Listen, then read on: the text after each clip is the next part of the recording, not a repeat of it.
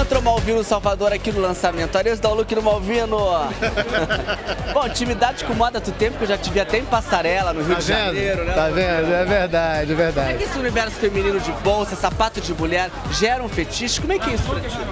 Eu acho que bom, uma bela bolsa e um sapato deixa a mulher realmente poderosa, né? E a história do salto fino influencia mais ainda isso, Malvino? Eu acho que sim, mas, mas também é, eu acho que depende muito da ocasião, né? A mulher, acho que um salto fino não dá pra usar também toda hora. Eu acho que, mas com, com certeza, um salto fino uma mulher deixa ela muito elegante, muito chique, né? Bonita, alta. Como é que tá a vida? Projetos? Que já estamos em 2013. O que, que tem pra acontecer? Eu já estou gravando a próxima novela das nove, que vai se chamar Amor à Vida. É uma novela que se passa em São Paulo. é, E como o próprio nome diz, fala de amor. E vai falar muito sobre a relação de pais e filhos.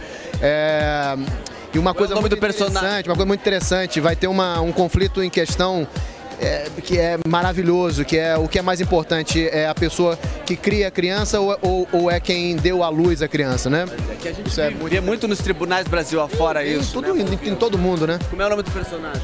Meu é Bruno. E o que, que o Bruno vai ser na trama toda? Ele vai ser o personagem que cria a menina.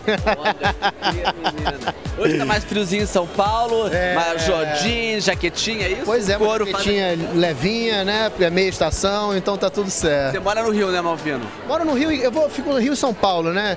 Eu tô sempre lá e cá. O que, que te atrai mais aqui nessa cidade toda? Que é muito oposta ao. Eu acho que São Paulo é a única cidade cosmopolita do Brasil. Aqui tudo acontece. É, existe também um, um meio cultural assim fantástico, né? Um ambiente cultural fantástico em todos os sentidos, nas artes plásticas, no teatro, no cinema, sabe? Exposições incríveis. Então eu acho que São Paulo e, e- e e negócios aqui, sabe? E também o espírito das pessoas aqui.